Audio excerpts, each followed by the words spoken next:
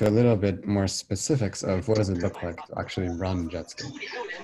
Um, so in, a broad sense, um, there are there are three three main steps, uh, which we hope you'll find quite simple. So the first is to install and build Jetscape, which uh, I think actually all of you have done uh, if you have followed the, the prep instructions already. And then the second step is you need to create a configuration file. You need to tell Jetscape uh, which modules you want to run out of the available modules and which parameters to configure those modules with. Um, and so this we do with, um, with uh, XML files, which I'll, I'll, we'll see quite some, some detail of today.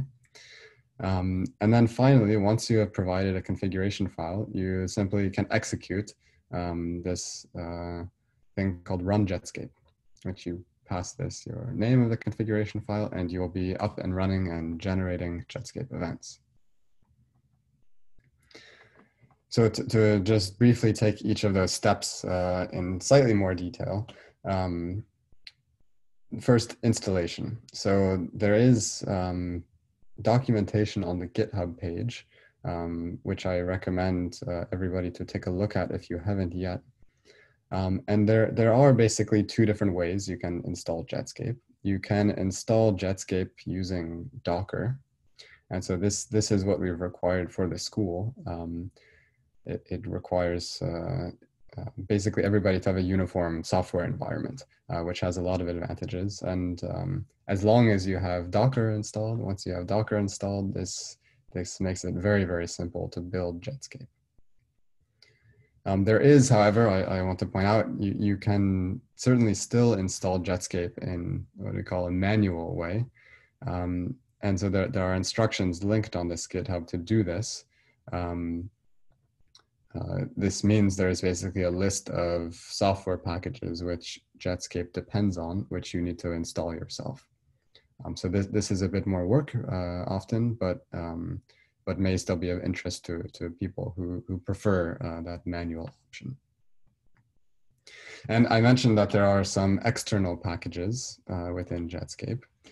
And um, actually, when one is building Jetscape, there are certain options that you need to enable if you want to use those external packages. Um, so we'll, uh, we'll get into this also um, eventually in the hands-on session, um, but there are some CMake options. So when you run the CMake command, you, you need to explicitly enable um, these external packages that you, uh, that you have downloaded if you want to compile those and be able to run those in Jetscape.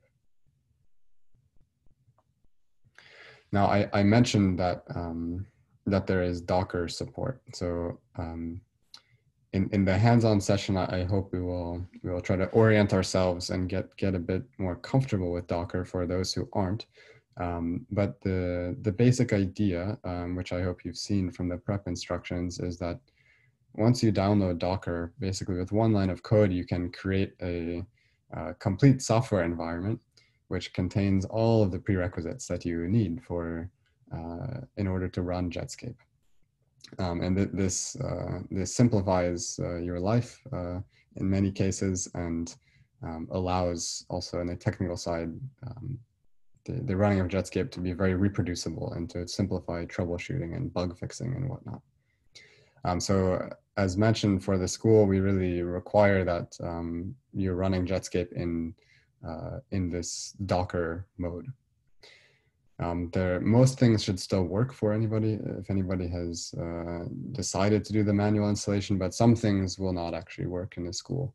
Um, and, and just due to the size of things, we won't be able to support much um, uh, that. Uh, so we hope, we hope you will find Docker um, useful.